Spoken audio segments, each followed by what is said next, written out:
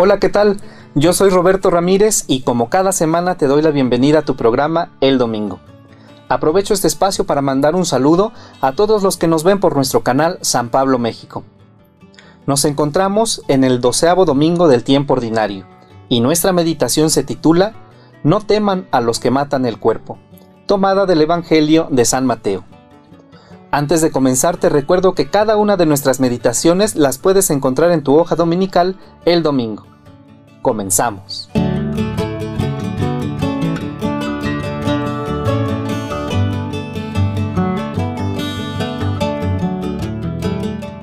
La práctica de vida cristiana nunca ha sido sencilla.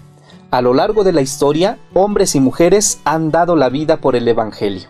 Los valores del reino nunca han sido bien aceptados, siempre han encontrado obstáculos.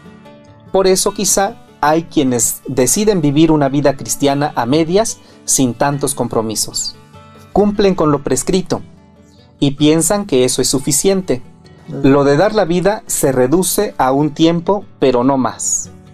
Basta con ir al templo los días de guardar u orar unas jaculatorias para sentirse satisfechos. Jesús mismo vivió desde los días de su predicación descalificaciones, malos tratos y al final persecución y muerte.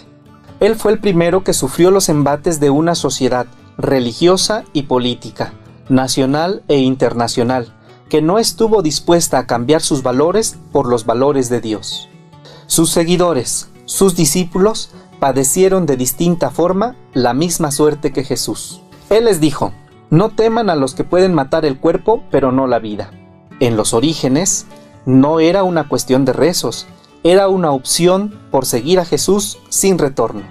Las primeras comunidades cristianas se formaron con hombres y mujeres dispuestos a dar su vida.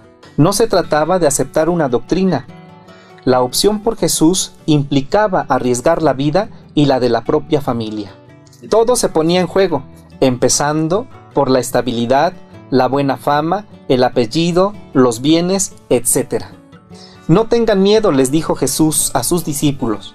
No tengan miedo, nos dice el día de hoy. Vivir los valores del reino, vivir los valores de Dios, nunca fue tan sencillo. Podemos seguir viviendo un cristianismo a medias, o podemos vivir la opción por el Dios de Jesús con determinación. Hoy es imprescindible que asumamos nuestro compromiso cristiano sobre todo ante aquellas realidades que atentan contra Dios y su creación.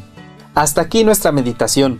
No te pierdas nuestras reflexiones. Suscríbete a nuestro canal y da clic a la campanita para que seas notificado de nuestro próximo video.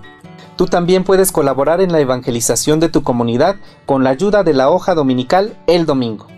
Solo coméntale a tu párroco y suscríbanse en atención al cliente. Que el buen Dios nos bendiga a todos. Hasta la próxima.